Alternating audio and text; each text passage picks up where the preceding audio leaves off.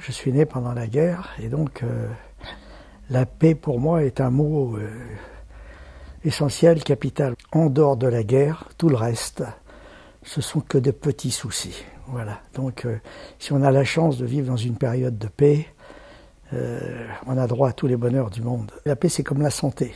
Quand vous êtes en bonne santé, vous vous en apercevez pas. Et puis quand vous sortez d'une maladie et qu'on vous dit que vous êtes guéri, vous êtes l'homme ou la femme le plus heureux du monde. Voilà. Ben, moi, à chaque fois qu'on me parle de paix, je suis l'homme le plus heureux du monde. Un jour, un film sera tellement beau, sera tellement réussi, sera tellement fort dans son message que c'est pas 10% de la population mondiale qui ira le voir, c'est la terre entière. Voilà. Pour l'instant, quand un film marche, c'est 10% de la population qui va le voir. Mais je crois qu'en deux heures, un film réussi pourra nous faire passer de la barbarie à la civilisation. Je pense qu'en deux heures, un grand, grand film pourra faire le travail de plusieurs siècles. Ça, j'en suis intimement convaincu.